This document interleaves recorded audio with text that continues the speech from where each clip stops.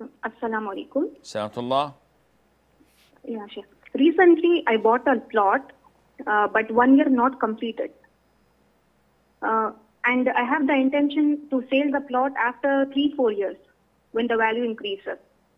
So, is there zakat on the plot? It's an issue of dispute, and the most authentic opinion is as long as it is not displayed for sale, there is no zakat on it, in the sense that you bought a plot and it's sitting there.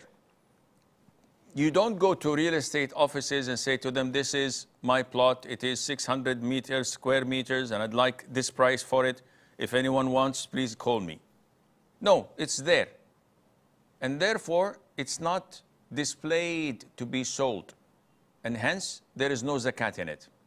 Similarly, if someone says, What about your clothes, Sheikh? Do we have to pay zakat on your clothes? Do I have to pay zakat on my clothes? The answer is no. What if someone comes and says, Sheikh, I'll give you a thousand dollars if you take off what's on your head and give it to me? Will you be willing to sell it? I said, Of course, thousand dollars, definitely I'm going to sell it. Here you go.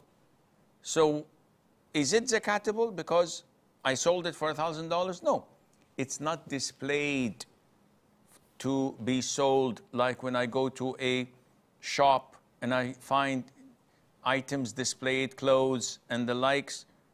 These are zakatable. But what we wear, what we possess, what we own other than gold and sil- silver do not fall under the category of zakat and Allah knows best.